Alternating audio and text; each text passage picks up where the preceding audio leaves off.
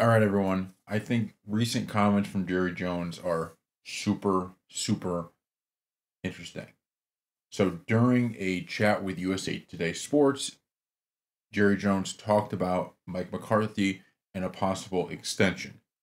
So this is a lot of quote here. So bear with us, but we're going to read the whole thing because I think it's all needed.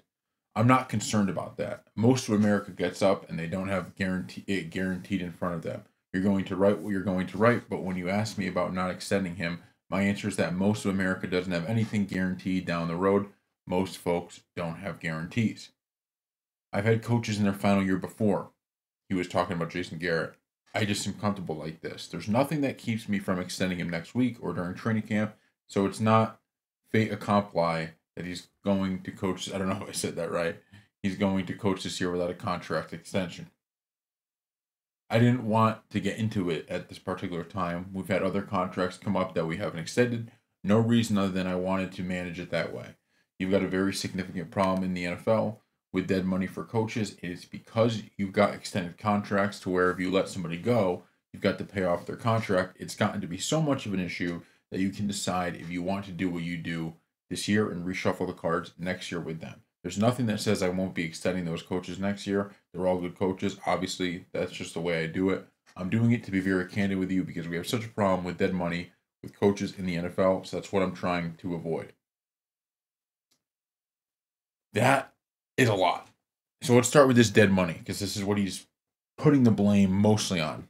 Jerry Jones is right. The NFL even had to send out, you know, I think it was a letter, could have been an email, whatever. They send out a message to NFL owners saying, hey, listen, you guys are paying a ton of money in dead cap for your coaches here because what they do is they hire a coach, they fire a coach before his contract's up, and then they're stuck paying not only that money, but then they have to pay the new coach that they bring in.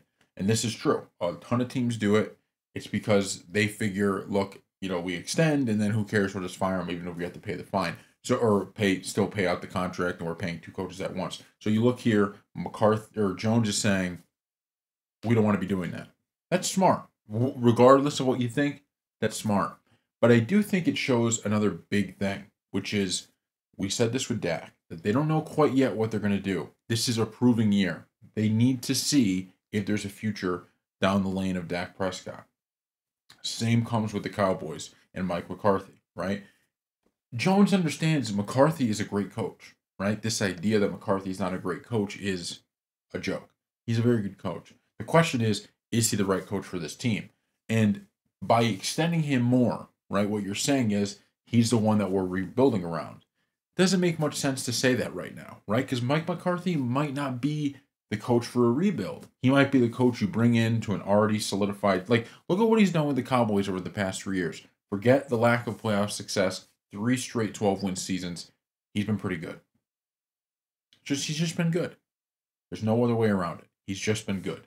And um, you know, he understands Jones understands this, right? Jones is sitting there saying, Hey man, you know, if we extend him, it's not that he's a bad coach, but if we extend him and then we decide to move on from him, I'm paying dead cap. Not going to happen. And like he's saying, hey, if it works out this year, I have no problem extending him. But that extension doesn't need to be on paper at this moment, right? McCarthy could coach without an extension.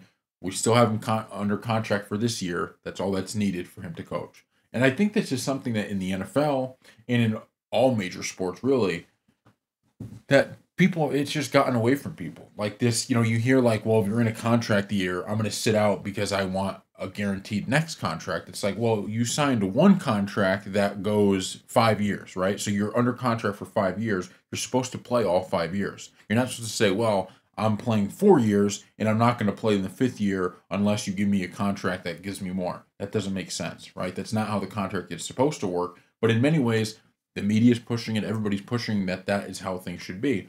Jerry Jones is right. You know, you, you got to, especially for a coach, why just extend? if you don't know 100% if he's going to be the guy. And like I said, Jerry Jones gets a ton of flack, and for some of it's deservedly so. But I think on this kind of stuff, he's right on the money, right? He's actually smarter than a lot of these other owners who, you know, just extend their coaches or they pay a coach that they bring in big money. Then they say, you know what, we're not even going to give you time. We're just going to fire you. And then you're paying, you know, three different coaches at once because you couldn't just stick with one decision that you made. That's an issue. So thank you all for watching, and we will see you next.